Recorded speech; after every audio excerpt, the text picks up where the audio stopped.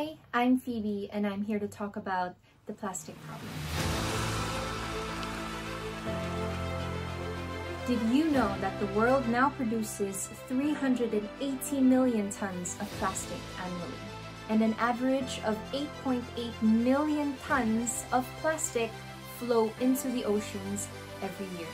Itong mga plastic na basura na palutang-lutang sa dagat ay nasisira over time. Nakakain ng mga isda at iba pa nating paboritong seafood. Kung hindi namamatay, siya rin kinakain natin. Kaya whether you like it or not, it does and it will come back to us. If we continue at this rate, by 2025, there will be more plastic trash in the oceans than fish. But remember, it is not too late to fix it. Change should start from me and from you. Paano? Huwag na tayong gumamit ng mga single-use plastic tulad ng plastic bags at food wrappers.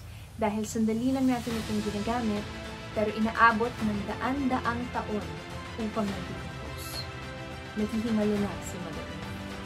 Kaya the next time you shop online, hanapin ang keywords na sustainable, biodegradable, eco-friendly. Kaya ako sa taping, lagi na akong iniinom from ng tumbler at lagi ako nagdadala ng sarili kong spoon and fork.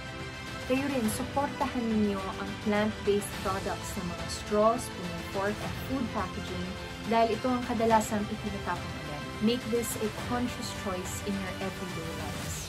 Muli, hindi pa nahuhuli ang lahat. We can still change it. Mahalin natin ang mundo natin dahil iisa lang ito. Salamat po. Sa palagay mo ba may sapat ka ng kaalaman ukol sa plastic problem? Sagutan ang quiz link na makikita sa caption at maaari kang manalo ng 5,000 pesos worth of GCs from the EcoShift. Good luck po!